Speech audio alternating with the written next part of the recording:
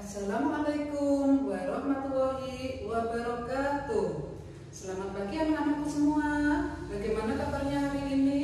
Guru doakan ya, semoga anak-anak, mama dan papa dalam keadaan sehat walafiat. Kita akan belajar bersama-sama tentang tema tanaman. Nah, sebelum kita belajar, mari kita berdoa terlebih dahulu agar ilmu yang kita pelajari hari baik di dunia maupun di akhirat. Nah, yuk anak-anak sikap manis, kepala ditundukkan, berdoa mulai. A'udzu billahi minasy syaithanir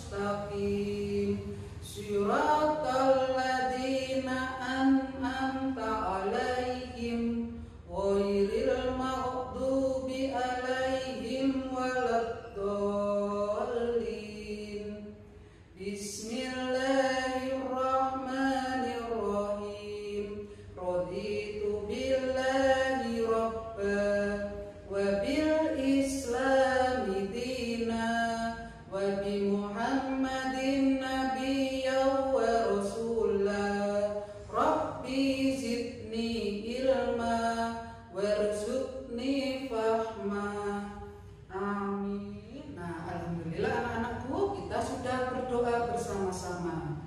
Nah, sebelum Bu Guru menerangkan tentang tema tanaman,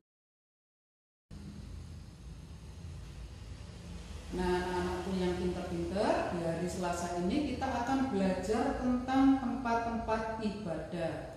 Nah, di Indonesia itu ada berapa anak-anak? Di Indonesia itu ada lima agama. Contohnya apa?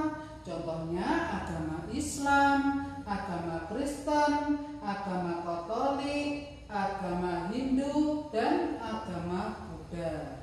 Nah, nanti tugas anak-anak di sini menyebutkan tempat-tempat ibadahnya.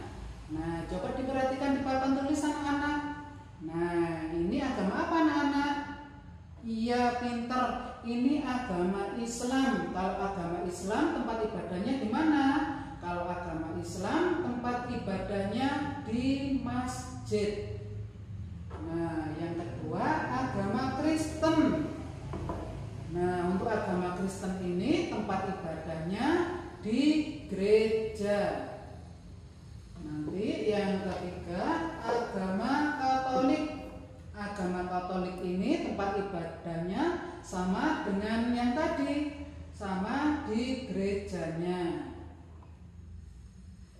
Yang keempat yaitu agama Hindu. Agama Hindu tempat ibadahnya yaitu di pura.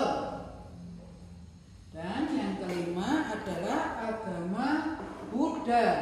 Nah, agama Buddha ini tempat ibadahnya di mana anak-anak? Di wihara. Nanti anak-anak cukup di voice aja menyebutkan tempat-tempat lima agama. Bisa kan anak-anak?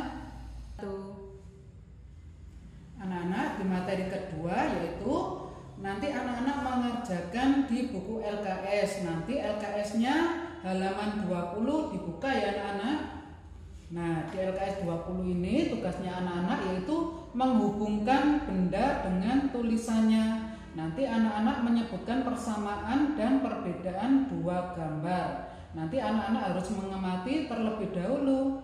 Nah, coba di sini dilihat. Nah, di sini ada gambar bunga mawar anak-anak. Nah, ini ada gambar bunga mawar dan di sampingnya adalah pohon jeruk. Nah, di sini nanti anak-anak menghubungkan gambar dengan tulisannya. Misalkan ini apa ini? Ini gambarnya bunga, kita cari tulisan bunga. Nah, di sini kita akan tarik garis ke sini. Nah, yang kedua ada tulisan buah. Kita cari yang buah. Nah, ini kita tarik ke buah. Nah, yang ketiga ada apa itu tulisan batang. Nah, di sini kita tarik ke batang. Nah, ini nanti ditarik dua-duanya anak-anak. Di sini. Dan yang ketiga daun. Daun yang mana? Nah, ini ada daun. Ini juga ada daun dan yang kelima adalah akar. Nanti juga sama, anak-anak nariknya dua. Akarnya pohon sama akarnya bunga. Nah, seperti ini. Bisa kan anak-anak? Nah, anak-anakku, untuk materi yang ketiga yaitu nanti dibuka LKS halaman 22. Nanti di sini tugas anak-anak yaitu menghubungkan gambar dengan bayangannya. Nah, di sini coba yuk kita lihat bersama-sama. Nah, di sini ada bunga apa anak-anak? Di sini ada bunga sepatu. Nah, yang nomor dua ini ada bunga matahari.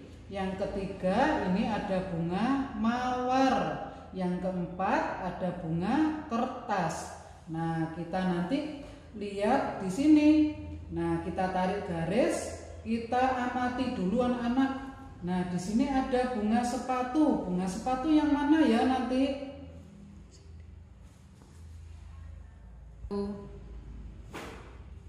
Nah, yang pertama ini bunga sepatu. Nah, setelah kita amati, kita tarik garis. Nah, ini anak-anak, ini penampangnya bunga sepatu. Nah, yang nomor dua bunga matahari. Kita lihat lagi yang sama. Nah, ternyata ada di bawah ini anak-anak. Nah, kita tarik di sini. Dan yang ketiga adalah bunga mawar. Bunga mawar yang mana?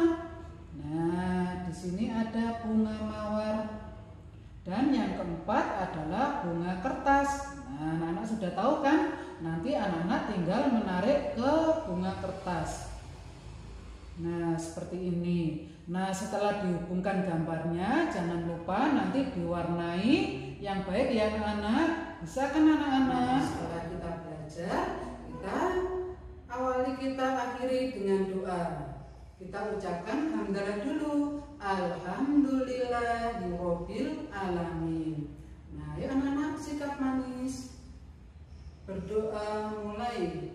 A'udzu billahi minasy syaithanir rajim. Bismillahirrahmanirrahim. Wal 'asr. Innal insana lafi khusrin illa illa